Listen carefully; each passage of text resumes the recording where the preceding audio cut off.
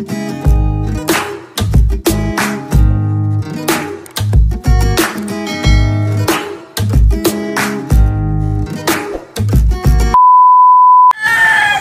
morning guys. Yan. Ah, siguro naman guys, nakita niyo na yung ah, latest update natin, last video natin tungkol dun sa mga binili natin na mga sisiyaw ng ah, Brahma chicken, silky chicken. So, kung mapapansin nyo guys, nakapalibot sa akin yung mga manok natin. Ayun, oh. Naghihintay sila na pakainin. Pero maya maya pa tayo magpapakain guys. So, i-update ko kayo doon sa binili natin guys na mga sisiw na Brahma, Silky. So, ito, intro muna to guys. Yan, pakita ko lang sa inyo yung mga manok natin na nakagala. Ayan sila guys, oh. So, disclaimer muna guys, no animals were harmed in the making of this video. Yan. Nagala na sila. Limang piraso, yung isa nandun. Alright, so bale, update natin kayo sa ating mga nabili guys. So ito na siya. Ito na sila. Yan. Disclaimer muna guys ha. No animals were harmed in the making of this video. Alright, so ayan guys. Makikita nyo yung setup namin. Nandito siya sa loob ng bahay. Actually, hindi to tapos na kwarto. Dito namin siya nilagay. And then yan, nilagay lang namin dito sa ito yung pakaskasan ko dati. Tapos ito yung screen na ginamit. Nilagyan lang namin ng ah, yellow paper para hindi mabulok yung kuan plywood. Pero yan oh kinakaskas pa rin nila yung plywood. So every 3 days nagpapalit ako. Maya maya magpapalit ako guys. Pero update ko lang muna kayo sa ating mga binili. So ayan po sila oh. Yung kung mapapansin nyo guys yung karton na ito meron po yung ilaw sa loob. Sa tuwing gabi ah, dyan sila nagpapainit o pumapasok kasi sabi nung ah nung binila namin ito, kailangan muna nila ng init.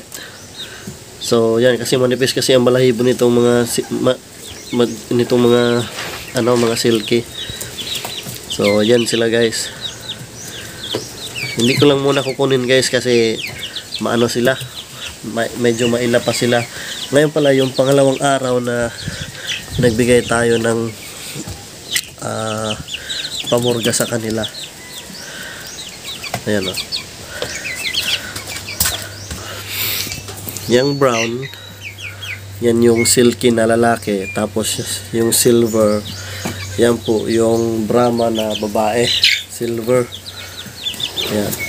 Talagang, itong, itong napansin ko dito sa ano guys, sa silky, ah, lima yung kanyang daliri, no? Lima. Tapos, ma mabalhibo yung paa niya. Katulad din sa Brahma mabalhibo. Hindi tulad yung isa yon. Yan. Yung parang parot hindi ko pa masyadong kabisado yung pangalan niya guys. Pero ano siya parang parot makapal yung kanyang buhok kung, kung sa pangsabong ano? Tapi. Hmm, ayan sila guys oh.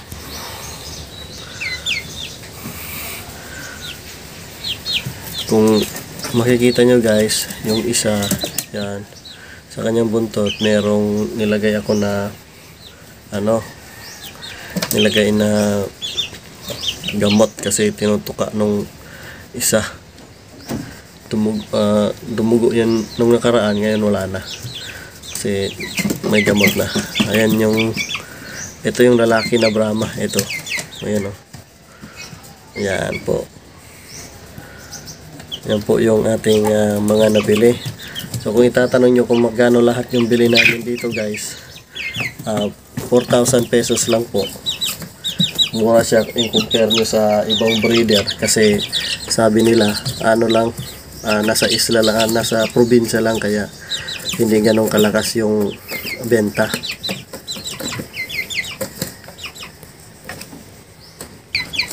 Alright, yan yung update guys. Ayan o. Yan yung update. Malalaki na. Medyo mas malaki na sila nung dati nating nakuha.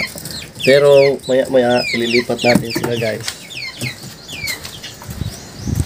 Dito. Ililipat namin dito. Yung rason kasi guys, itong kwarto na to, tatapusin na yan. So, ang gagawin naman natin ay tatanggalin ko na itong mga bantam ito may mga bantam dito limang piraso.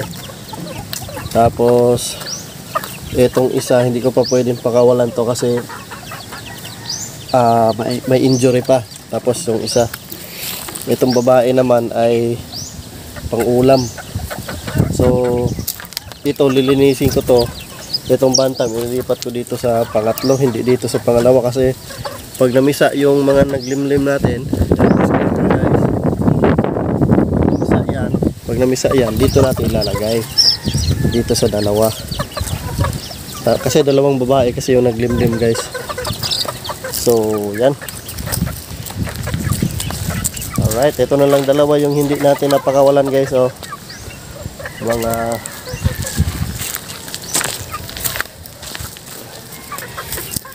mga ano yan mga bulik. Yan bulik bulik.